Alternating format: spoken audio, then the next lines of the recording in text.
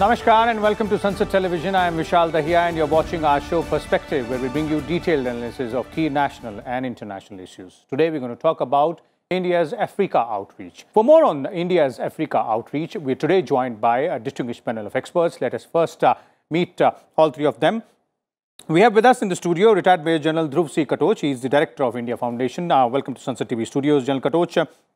We're also joined by former Minister Suresh K. Goel and uh, Dr. Sreeram Chaulia, foreign affairs expert, is also joining us uh, via online virtual medium. Welcome, uh, both of you gentlemen, as well. Uh, Dr. Chaulia, your views there on this aspect, which uh, Mr. Goel has pointed out. Of course, uh, you know, there has a lot which has been done uh, vis-a-vis India's Africa outreach, and there are a lot of other opportunities as well for both India and Africa to cooperate further. But when we talk about West Africa specifically, uh, you know, a bit more a push is required, as Mr. Goel is referring to. Do you agree? Yeah, uh, definitely, Vishal. I think uh, our initial thrust was on the eastern seaboard of Africa because it is directly connected to the uh, western end of the Indian Ocean. So we saw this as one, uh, you know, broad Indian Ocean strategy of India, and so and historically, the, our diaspora, Indian diaspora, has also been present in larger numbers on this side in Kenya, Tanzania, South Africa, Mozambique. So um, we used to concentrate only on the eastern side and the southern side, but now uh, there has been uh, you know expectation for India to step in and play an important role uh, across the continent, mm-hmm. all 54 countries. So I think uh, when we convened the uh, India Africa Forum Summit uh, in the Modi administration, we managed to get all heads of government of all these countries to India, and that was a great start. And since then, Prime Minister has also enunciated our 10 guiding principles for engaging with Africa. And uh, I think the trade volumes have been growing. Uh, before the pandemic uh, hit and interrupted uh, all the supply chains and the flows, we are almost close to $80 billion.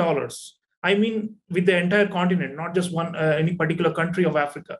And now the potential is tremendous. So, Vice President's visit is great, well timed because now the Africans have come together and formed a African Continental Free Trade Agreement, ACFTA. That's okay. combining all the member countries into a single market like the European Union and reducing or almost eliminating all tariff barriers. So I expect this to be a bigger and bigger relationship. It's a big growth area for us. And of course, it also helps uh, to show our credentials in terms of uh, South South cooperation for fellow developing countries. Senegal, for example, where Venkaiah uh, has just visited, Senegal, it, you know, viewers will be surprised to know their rice production uh, was increased sixfold due to India's support uh, and um, with irrigation and with water systems in Senegal.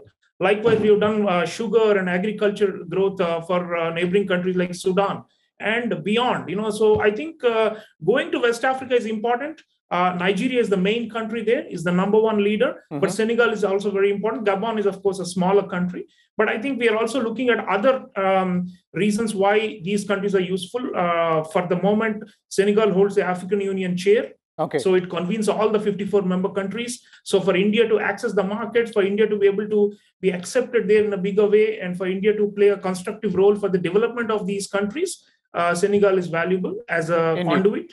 And uh, same with uh, Gabon. Now we have a, we share the Security Council non-permanent seats. They're also there and we have to coordinate positions with them. So mm-hmm. apart from the trade and the commerce and the people-to-people linkage, there are also some intergovernmental mechanisms. The WTO system also, we are now coordinating closely with African countries for justice on uh, patents, on trade-related intellectual property rights, on vaccines. So the many things. I think it's a multi-dimensional development okay. partnership, but with also a security angle, especially with the Indian Ocean side. But with the Atlantic coast, with the Western Africa, I think we are looking to just make a presence there. We have opened more embassies, as you have just informed the viewers. Uh, Modi government has uh, said that Africa is uh, important to us, it's primary to us. Indeed. It's not Indeed. secondary to us. And that's how we also become an important power uh, in, in the globe, in, in the international order by being present in other countries of the global south. Okay. Dr. Chaulia, do you agree? You know, these four areas identified by Mr. Goel there, infrastructure, skill development, agriculture, minerals. The idea is to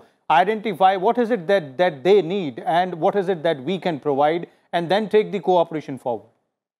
Yeah, Vishal, in fact, uh, in health and education also, these are, you know, fundamental sectors uh, for Africa's rise. In the, they have the African Union has the Agenda 2063, They have got a roadmap uh, to achieve major developmental goals. So health and education also, I think India is going to be a major partner. In fact, we have the advantage of the English language, uh, which is quite uh, popular in many countries of Africa, if not all. Uh, and these things, uh, you know, the Chinese cannot provide. So I think our um, Pan African uh, e network for um, e medicine and um, e education, this has really picked up. We are now reached a more advanced stage in this, and we are training thousands of young Africans uh, through remote and also bringing some of them here to India, and our trainers also go there.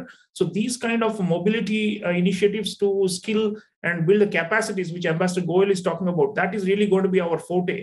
Um, and uh, as far as the physical infrastructure goes, you know, I think we need to do what we call the North uh, South South cooperation. Mm-hmm. Uh, we need uh, a richer country.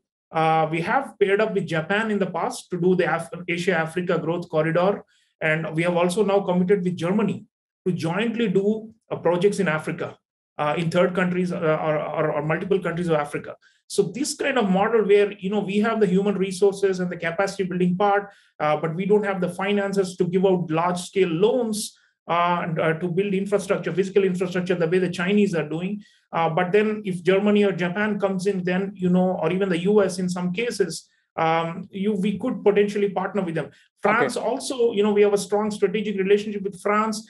France has a lot of uh, control or dominance over uh, parts of West Africa, what they call Francophonie. It's a little controversial because of the neo-colonial impact of France, but wherever possible, we should triangulate. So that way, you know, uh, we can be more credible. And of course, um, the thing is, uh, Africans really look up to India for um, uh, medical tourism and such things and bringing more africans and exposing them to india thousands of african students continue to come in even in spite the, of the pandemic, uh, to come in and study in our universities under multiple programs. So those kind of things are lasting, and they will okay. have a you know, more uh, impact in the longer term because it, India has has to get to the hearts and minds. And of course, we are already doing it. So maybe we need to scale up. I mean, sometimes we say small is beautiful, and in, in China is you know committing these gigantic projects, and we do small, meaningful, quick impact projects uh, fine quick impact projects are good development uh, uh, initiatives are good but i think Indeed. sometimes we, we have to also scale up with our ambition to become a leading power in the world okay. i think africans like uh, uh, ambassador Goel was mentioning also expect that india sometimes uh, can help as a substitute to china not always i mean they build the hospitals but we provide the nurses the software side the human Indeed. skill side those things are our strengths and that's where i think we need to step up. Maybe focus on some key sectors and do it on a larger scale okay. than we have done in the past. Okay. Indeed that is significant. It can be small but it has to be significant and it has to be viable. Uh, dr chaulia you wanted to say something quick? Uh, if you can have a quick concluding one.